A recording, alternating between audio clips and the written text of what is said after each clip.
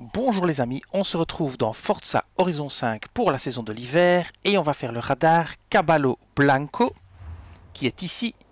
Vous devez faire 209 km/h, 209.2 avec une Mercedes AMG réglée en maximum à 800, c'est parti. Comme voiture, j'ai choisi la Mercedes AMG C63S coupée de 2016. Si vous ne l'avez pas, elle coûte 90 000 crédits au salon de l'auto avec le réglage suivant à 800 et le code 1 7 3 5 4 1 5 9 2 1 7 3 5 4 1 5 9 2 Vous vous mettez ici plus ou moins ou un peu plus haut comme par exemple là pour là-bas allez faire vos 209.2 km/h, c'est parti.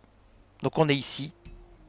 Au début, n'allez pas trop trop vite hein, dans les premiers virages ici. Prenez juste un petit peu de vitesse, sans exagérer, pour pas tout rater. Voilà. Maintenant, vous accélérez un peu plus. Vous faites attention ici de bien couper, comme ceci. Et maintenant, vous vous lancez à fond.